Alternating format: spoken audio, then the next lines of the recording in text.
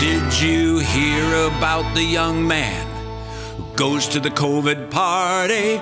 He wins the prize cause he's the first to get COVID in his eyes. And just before he dies, he says between his chokes, I thought it was a hoax.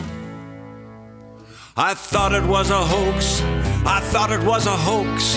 My Uncle Benny told me he's always full of jokes. He told me to watch Fox to get the news. I thought it was a hoax. I thought it was a hoax. I didn't know that people died in Sweden.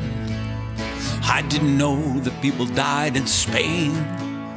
Could someone not have told me this virus is a killer?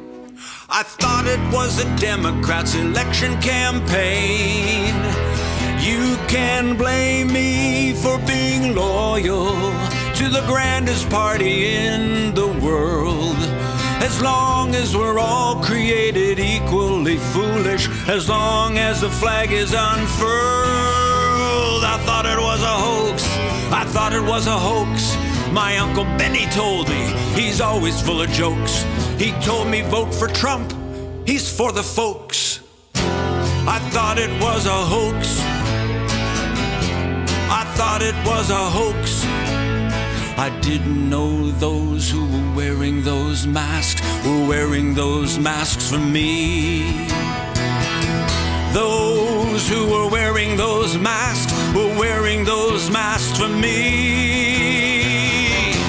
I thought it was a hoax. Thought it was a hoax. That's all, folks.